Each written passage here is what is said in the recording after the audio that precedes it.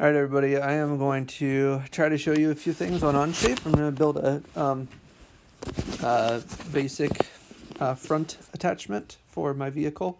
Um, I've actually already produced um, a back end and some wheels and stuff, so kind of a monster truck sort of concept for mine.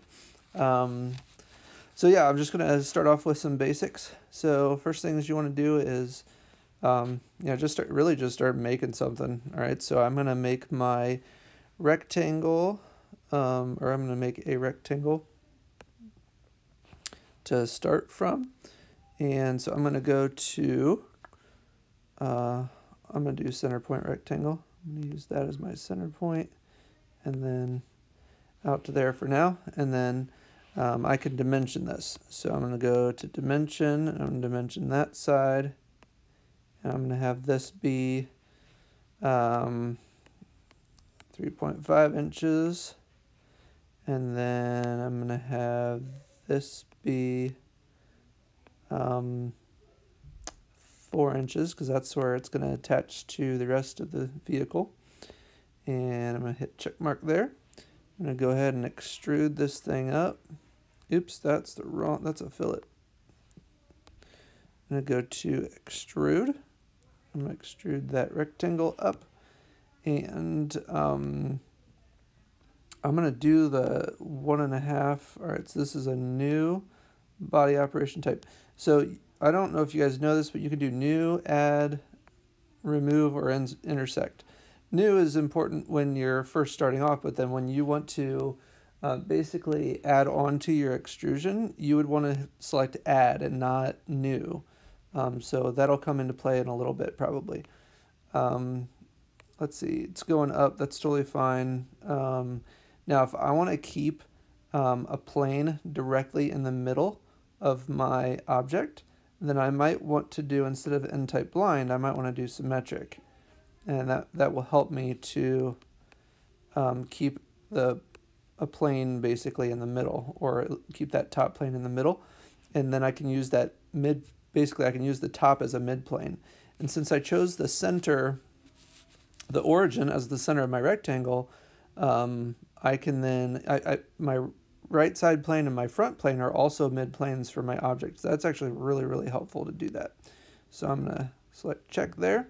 All right, doesn't look like a whole lot right now, but I'm going to make some changes to it eventually, and then it'll look a little bit better. Um, you'll see the, the orange on here is me showing you kind of my finger positions, what I'm doing. So that should help a little bit as we go through things. All right, so um, this is the front, which means this is going to be the back. All right, so what I'm going to do is I'm going to place um, a point. I got to start a sketch on this back surface. Um, I'm going to place a point and I'm going to first double tap and or, or like tap with two fingers at the same time and view normal to sketch plane. What that means is the sketch plane is like, you know, I'm facing it right now. And so I'm going to put a point that's on there and a point that's on there. And uh, I haven't dimensioned these points yet. Um, but the reason I'm making these points is I'm going to try to get those, uh, that circle and that um, hexagon connector piece. So as a reminder, the circle is on, uh, you know, the left-hand side, sort of here, and the hexagon's on the right-hand side. And uh, so if I flip that, um, you know, if I reverse that, then my circle is on uh, essentially the other side. So my new, I'm going to have a circle um, extrusion outward, and then I'm going to have a hexagonal hole instead. So I just got to pay attention to that. I need to know where they are. They are one inch uh, from the outside of this, so I'm going to make sure to do um, that part one inch from the outside. So I'm going to dimension, oops, I need to be editing the sketch too. All right, so I'm going to go back to this and I'm going to dimension from this side to that point. I want that to be exactly one inch. And I'm going to do the same thing with this point this side. That was close. Exactly one inch. There we go. All right, and then I can probably hit, or no, I don't want to hit check mark yet because now I want to make, um, all right, so the, if this is the um, back of my piece, as a reminder, the circular hole was on the right, so I'm going to make a circle over here. It was on the left of the other piece, but it's going to be on the right side here. So there's that.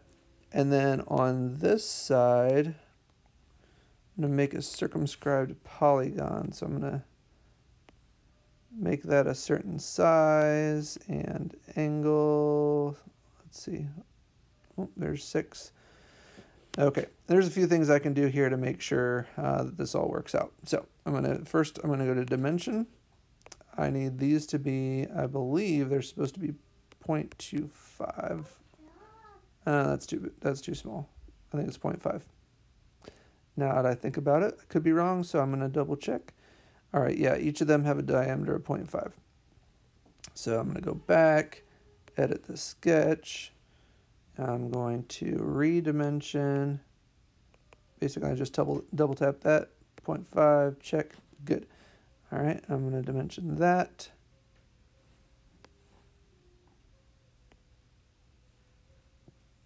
And that's going to be ah, 0.5. Check. All right, and then um, I want to make sure that uh, this, oh, that's not what I want to do. I want to make sure that this line and my plane, so I need to make sure I am uh, view normal to the sketch plane. Make sure I'm right on here. I want that and that. Ooh, this is going to be difficult.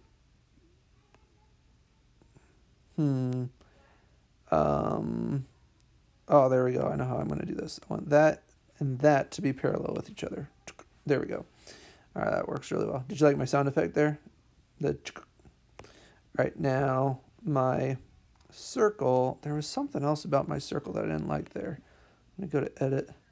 When it's blue, there's something that can still happen. So I'm curious what is still, uh, that's not fixed.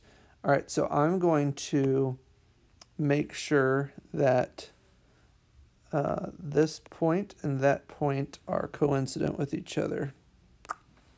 There we go. Now that thing is stuck there. Um, so if that's ever the case, if you ever see that your object is, your sketch is blue somewhere, that means it's not fully constrained and it means it can be moved around or manip manipulated. Sometimes that's not a problem, but for this, I definitely want to make sure I'm, I have everything in exactly the right position.